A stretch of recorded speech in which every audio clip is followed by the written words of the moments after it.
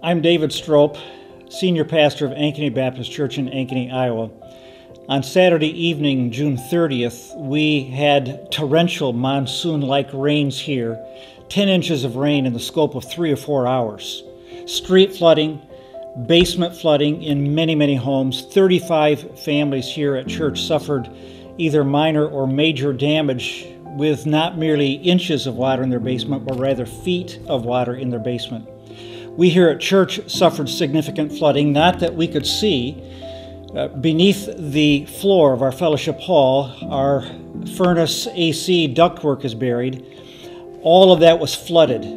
For two weeks, we were pumping water out from beneath our fellowship hall floor, and uh, we found that all of the ductwork was damaged, requiring replacement of the ductwork, putting it in bulkheads, and then requiring the full replacement of furnaces and AC units. Obviously, that's a huge uh, issue of financial need. It was during that time that we were contacted by the Baptist Builders Club with a possibility that they were considering giving us a grant to address some of our flooding needs.